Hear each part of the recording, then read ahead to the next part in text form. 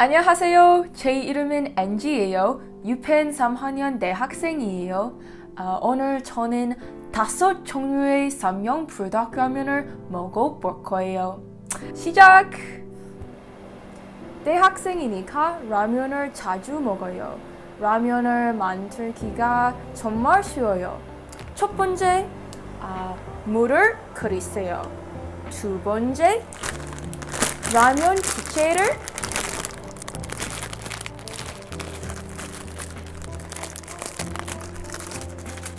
라면 기체를 넣으세요.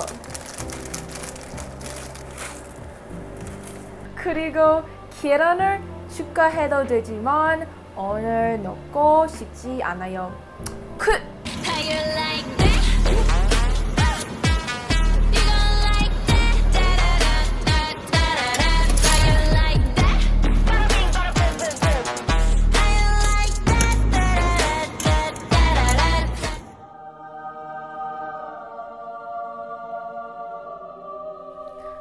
먹기 전에 손을 씻었어요. 그러나 걸리기 싫어요. 아, 지금 제 앞에 다섯 종류의 아, 불닭볶음면이 있어요. 아, 보통, 화끈, 아, 짜장, 치즈, 가르보하고 타면. 보통 아, 불닭볶음면을 먹어본 적이 있었어요. 음, 2년 전 기숙사 친구들과 아, 같이 먹었어요. 아, 정말 매웠어요. 나중에 제 입이 빨개졌어요. 아, 립스틱 색 같아서요.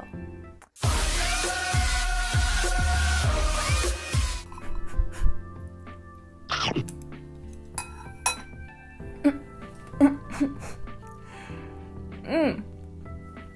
그렇지만 지금 맵지 않아요. 클래식 맛. 음, 불닭볶음면을 먹어본 적이 없으면 이걸 먼저 먹어봐야 돼요. 조금 맵지만 괜찮을 거예요.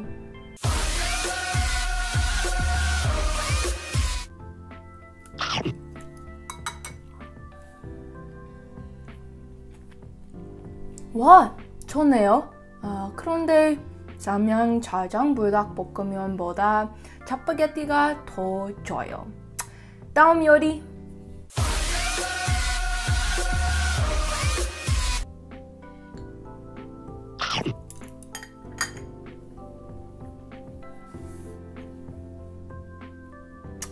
한국에서 유학할 때 한국 음식에 안에 치즈가 많은 게 유명했어요. 라면, 치킨, 닭갈비 다 치즈를 추가할 수 있었어요. 이거 좋지만 우유를 잘 못 먹어요.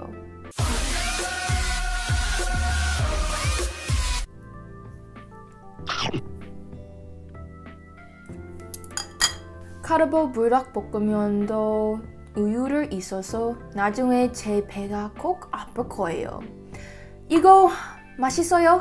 음, 카르보 불닭볶음면은 제 친구들이 제일 좋아하는 맛이에요. 지금 이해해요.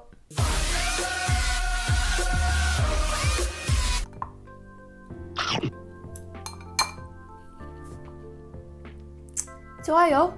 음, 날씨가 추우면 이 맵고 따뜻한 타면이 완벽해요. 가을에 비가 고프면 이 불닭 타면을 만들면 됐어요. 와! 와! 아이고. 와, 오늘 맛있는 음식을 많이 먹어봐서 정말 기뻐요. 음, 제 제일 좋아하는 불닭볶음면 맛 화끈 당면이에요. 아, 정말 맛이네요. 아, 한국 음식이 재미있어요. 제 비디오를 봐주셔서 고마워요. 다음 시간 같이 안녕!